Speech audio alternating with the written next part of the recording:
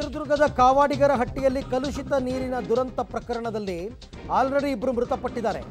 ಇವತ್ತು ಇನ್ನೊಬ್ಬರು ಮೃತಪಟ್ಟಿದ್ದಾರಾ ಅಂತಕ್ಕಂಥ ಪ್ರಶ್ನೆ ಮೂಡ್ತಾ ಇದೆ. ಯಾಕೆಂದರೆ ಇದೇ ವ್ಯಕ್ತಿ ವಾಂತಿ ಭೇದಿಯಿಂದಾಗಿ ಅಸ್ವಸ್ಥನಾಗಿ ಈತ ಪ್ರವೀಣ್ ಅಂತಕ್ಕಂಥ ವ್ಯಕ್ತಿ ಹಾಸ್ಪಿಟ್ಲಿಗೆ ಸೇರಿದ್ದ. ಇವತ್ತು ಮೃತಪಟ್ಟಿದ್ದಾರೆ ಅಂತಕ್ಕಂಥ ಒಂದು ಪ್ರಶ್ನೆ, ಒಂದು ಒಂದು ಮಾಹಿತಿ ಬರ್ತಾ ಇದೆ.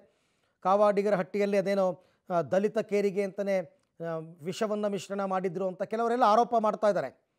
ಈ ಬಗ್ಗೆ ಮತ್ತಷ್ಟು ಮಾಹಿತಿ ನನ್ನ ಕೊಲೀಗ್ ಸಿದ್ದರಾಜು ಅವರಿಂದ ಪಡೆಯೋಣ. ಸಿದ್ದರಾಜು ಇದು ಅದೇ ಕಾರಣಕ್ಕೆ ಸಾವನ್ನಪ್ಪಿದ್ದಾರೆ ಅಂತಕ್ಕಂಥದ್ದು ಕನ್ಫರ್ಮ್ ಆಗಿದೆಯಾ ಹೇಗೆ?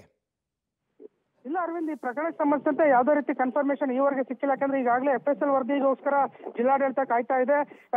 ಶೀಘ್ರದಲ್ಲಿ ಒಂದು ಎಫ್ ಎಸ್ ಎಲ್ ವರದಿ ಕೂಡ ನೀಡಬೇಕು ಅಂತ ಸಂಬಂಧಪಟ್ಟವ್ರಿಗೂ ಕೂಡ ಮಾಹಿತಿ ನೀಡಿದೆ, ಸೂಚನೆ ನೀಡಿದಂತ ಡಿ ಸಿ ಅವರು ಕೂಡ ಈಗ ಸ್ಥಳಕ್ಕೆ ಭೇಟಿ ನೀಡಿದಂತ ಸಂದರ್ಭದಲ್ಲಿ ಸ್ಪಷ್ಟನೆ ತಿಳಿಸಿದ್ರು.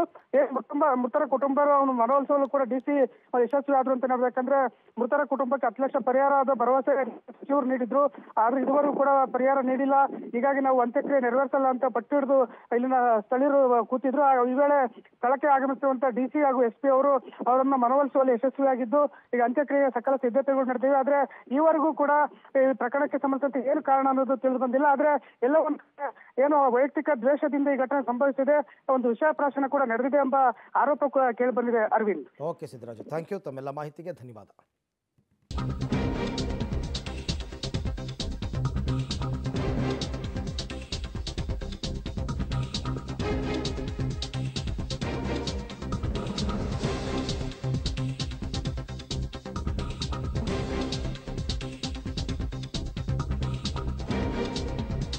ಪ್ರಕರಣದಲ್ಲಿ ಈಗಾಗಲೇ ಆಲ್ರೆಡಿ ಇಬ್ಬರು ಏನು ಮೃತಪಟ್ಟಿದ್ದಾರೆ, ಅವರ ಅಂತ್ಯ ಸಂಸ್ಕಾರವನ್ನು ನಾವು ಮಾಡಲ್ಲ ಅಂತ ಪ್ರತಿಭಟನೆ ಮಾಡ್ತಾ ಕೂತಿದ್ರು ಆ ಭಾಗದ ಜನ.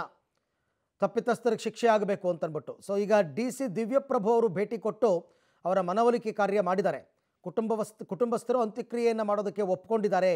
ಲ್ಯಾಬ್ ವರದಿ ಬಳಿಕ ತಪ್ಪಿತಸ್ಥರ ವಿರುದ್ಧ ಸೂಕ್ತ ಕ್ರಮ ತಗೊಳ್ತೀವಿ ಅಂತ ಚಿತ್ರದುರ್ಗದ ಜಿಲ್ಲಾಧಿಕಾರಿ ದಿವ್ಯಪ್ರಭು ಅವರು ಹೇಳಿಕೆಯನ್ನು ಕೊಟ್ಟಿದ್ದಾರೆ.